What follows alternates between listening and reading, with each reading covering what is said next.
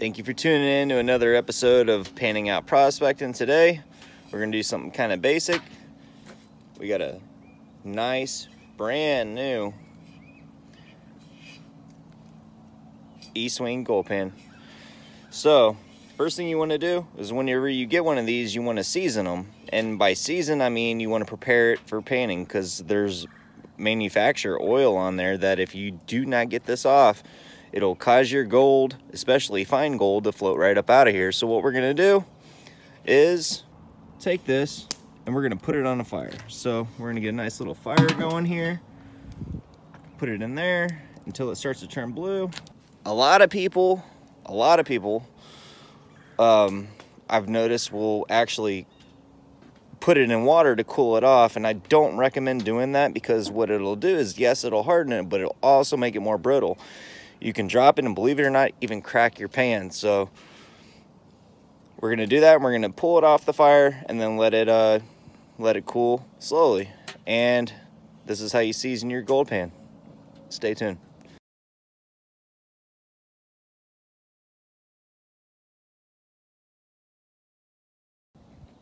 Okay, so now we uh, we're at that stage.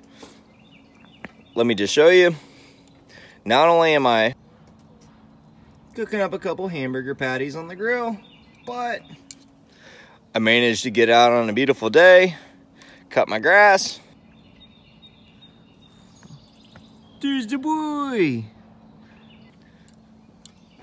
But I'm able to season my new pan. All right, let's check it out. Here. Oh yeah, just about done. Now, what a lot of people are gonna wanna do automatically is take this and drop it in some water, right? You don't want to do that because what it's going to do is, yes, it's going to harden it, but all your um, all your follicles and all everything inside that metal it's to spread wide right? So it's to harden it but it's also to make it brittle. You can drop it just like how i just did and for some ungodly reason it could also crack your pan. So again this is how you season your metal gold pan. Not too many people um, use these.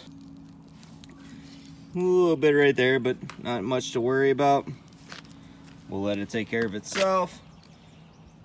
There it is. Let's get a closer look. Oh yeah. What we're gonna do is just let it cool naturally, let it take its time. We're not gonna quench it. We're gonna let it sit there and I am looking forward to finding some gold with that and showing you guys how those work as well. I've never tried one before. Again, I've been into prospecting now for maybe about four years, but it started out as fossils and uh, stalagmites and, you know, just all kinds of really cool stuff. You know, I'd go on the river and find river garbage, clean it up, find a whole bunch of ropes. I found a lot of carabiners.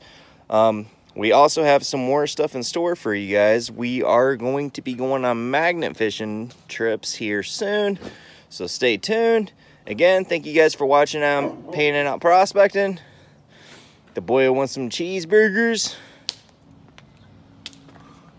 But dad, I love cheeseburgers. Give me a cheeseburger. Right, boy? Right, boy?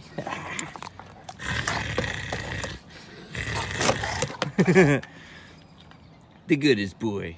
Right there. We're out.